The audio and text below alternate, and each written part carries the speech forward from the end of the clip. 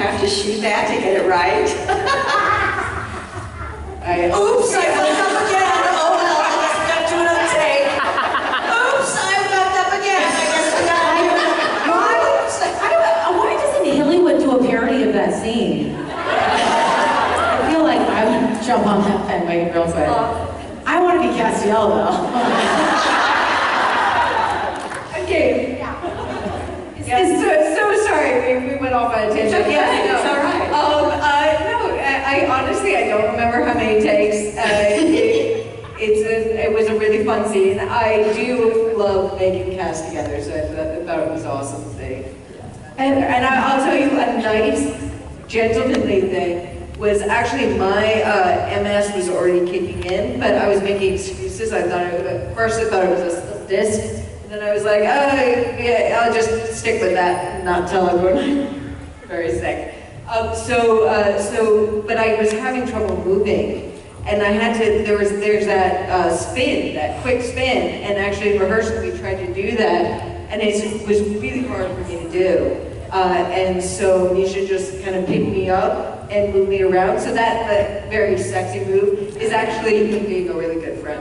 Yeah, yeah, yeah. It was hot. Can I, can I just say though, I- and I didn't know this story and I didn't even know this about the kissing I have always said that you're the only person that Misha's afraid of. In a good way. Like Misha's just like, to Rachel, isn't he? He's just like, whatever Rachel says. Is that because of the power of that kiss? Is that it? Has that worked for you for a day? You, you'll have to ask him. I, I, I don't, I, I. I don't know anything about this. uh, uh, It's a good kiss. it was a good scene. Oh yeah, very Silence, easy, very silence went hot. over the crowd as they thought about that kiss. And also, I, I, I'm all for the reenactment, so. I think we all are. This convention! Yes, Misha. Giving back tour. Give back.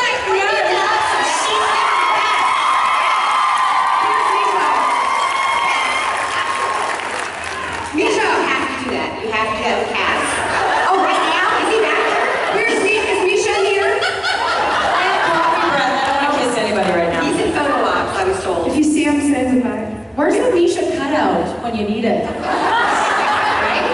Yes, you have to do that today, please. We Done. all, we all want to see it again. Thank you, Meg. Thank you. Thank you. No, I don't trust his tongue. I'm not making it.